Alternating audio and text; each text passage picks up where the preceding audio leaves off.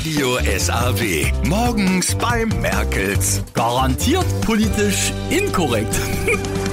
Joachim, mit dem Frühstück bin ich durch. Kannst du das hier in die Spülmaschine räumen? Eigentlich. Danke. Ach du übrigens, Konrad Adenauer wird ausgeschlachtet. Was? Ja, der Airbus, der so heißt, die A340. Ich meine, das Ding hat ja auch dauernd Pannen, nicht? Irgendwas war immer. Ladeklappe klemmt, Kerosinpumpe in der Grütze, Reifen platt. Äh, Ich bin in das Ding ja ohne Werkzeugkasten gar nicht mehr eingestiegen meiner Zeit.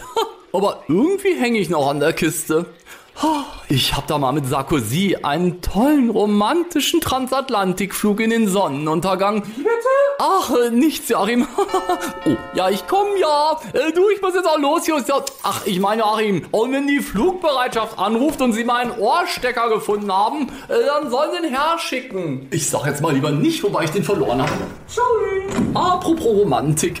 Guten Morgen, Robert. Äh, Guten Morgen, Frau Merkel. Sag mal, Robby, ich habe gehört, unsere Regierungsmaschine wird ausgemustert. Äh, ja, die Konrad Adenauer, nicht? Genau, da ist die Baerbock doch auch viel mitgeflogen. Äh, ja, also geflogen ist gut, wenn das Teil den Boden überhaupt mal verlassen hat, nicht? Ja, aber jetzt kommt mein Punkt. Seid ihr sicher, dass ihr den nun ausgerechnet ausmustern wollt? Äh, bitte, ja, natürlich. Naja, ich dachte nur, dass so ein Pannenflieger, der sich nur selten in die Lüfte hebt, doch eigentlich ganz hervorragend und auch symbolisch zu eurer Ampelregierung passt, was?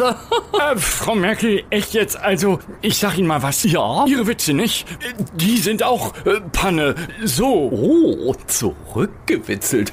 Süß. Robert. Morgens beim Merkels. Die besten Comedies für euch. Nur auf Radio SAW.